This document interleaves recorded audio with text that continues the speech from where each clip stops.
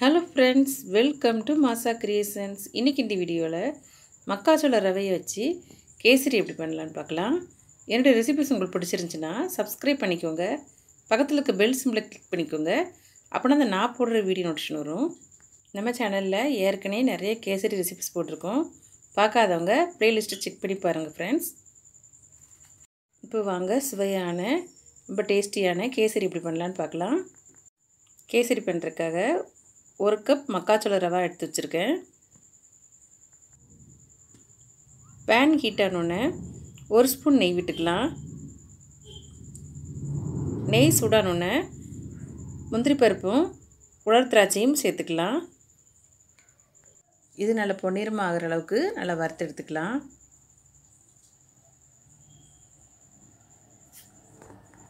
இது வரப்பட்டோடனே எடுத்து வேற ஒரு பாத்திரத்தில் மாற்றி வச்சுக்கலாம். இப்போ அதே நெய்லேயே நம்ம எடுத்து வச்சுருக்க மக்காச்சோள ரவையை சேர்த்துக்கலாம். அடுப்பை லோ ஃப்ளேமில் வச்சுட்டு நல்லா வாசம் வர்ற வரைக்கும் நல்லா வறுத்து எடுத்துக்கலாம். இது இந்த அளவுக்கு நல்லா வரப்பட்டோடனே இதை வேற ஒரு பாத்திரத்தில் மாற்றி வச்சிடலாம். இப்போ அதே பாத்திரத்துலேயே மூணு கப் தண்ணி சேர்த்துக்கலாம். ஒரு கப் ரவைக்கு மூணு கப் தண்ணி சேர்த்துக்கலாம். தண்ணி நல்லா கொதிக்கணும். இந்த அளவுக்கு நல்லா கொதித்த பிறகு நம்ம வறுத்து வச்சுருக்க ரவையை அதில் சேர்த்துக்கலாம்.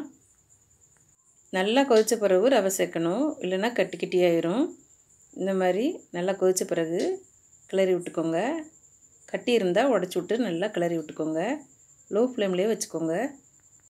மக்காச்சோள ரவை வேகிறதுக்கு கொஞ்சம் லேட்டாகும் அதனால் பொறுமையாக வேக வச்சு எடுத்துக்கலாம். இப்போ இது ஒரு மூடி போட்டு மூடி ஒரு அஞ்சு நிமிஷத்துக்கு லோ ஃப்ளேமில் குக் பண்ணி எடுத்துக்கலாம். அப்பப்போ எடுத்து கிளறி விட்டு மூடி வச்சு நல்லா வேக வச்சு எடுத்துக்கோங்க. இதில் தண்ணிலாம் நல்லா வற்றி ரவெல்லாம் நல்லா வெந்து வந்த பிறகு தான் சுகர் சேர்க்கணும். இப்போ இதில் ஒன்றரை கப் அளவுக்கு சுகர் சேர்த்துக்கலாம். ஒரு கப் ரவைக்கு ஒன்றே முக்கால் கப் வரைக்கும் சேர்த்துக்கலாம். நான் ஒன்றரை கப் தான் சேர்த்துருக்கேன். நீங்கள் தேவைன்னா குடக்கா கப் சேர்த்துக்கலாம்.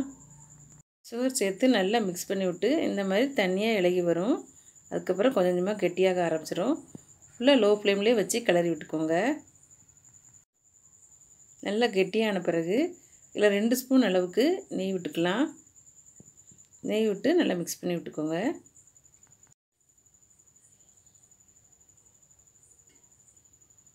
கைவிடாமல் கிளறிக்கிட்டே இருங்க.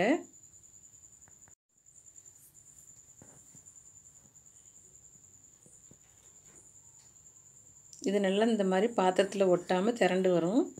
இந்த ஸ்டேஜில் நம்ம வறுத்து வச்சுருக்க முந்திரி பருப்பும் உலர் திராட்சையும் சேர்த்துக்கலாம். கடைசியாக ஒரு ஸ்பூன் நெய் விட்டு மறுபடியும் மிக்ஸ் பண்ணி விட்டுக்கோங்க. வாசனைக்காக ஏலக்காய் பொடி சேர்த்துக்கோங்க. நான் ஏலக்காய் பொடி சேர்த்தது இது கிளிப்பிங்கில் வரல. பாருங்கள் எவ்வளோ சூப்பராக ரெடியாக இருக்குன்னு இது வேற ஒரு பவுலுக்கு மாற்றிடலாம் ரொம்ப டேஸ்ட்டான ஹெல்த்தியான மக்காச்சோள ரவை கேசரி ஈஸியாகவே ரெடி ஆகிட்டு பாருங்கள் ரொம்ப டேஸ்ட்டாக இருக்கும். நீங்களும் வீட்டில் கண்டிப்பாக ட்ரை பண்ணி பாருங்கள் இந்த வீடியோ உங்களுக்கு பிடிச்சிருந்துச்சின்னா லைக் பண்ணுங்கள் ஷேர் பண்ணுங்கள் கமெண்ட் பண்ணுங்கள் மறக்காமல் சப்ஸ்கிரைப் பண்ணுங்கள் தேங்க்ஸ் ஃபார் வாட்சிங் ஃப்ரெண்ட்ஸ்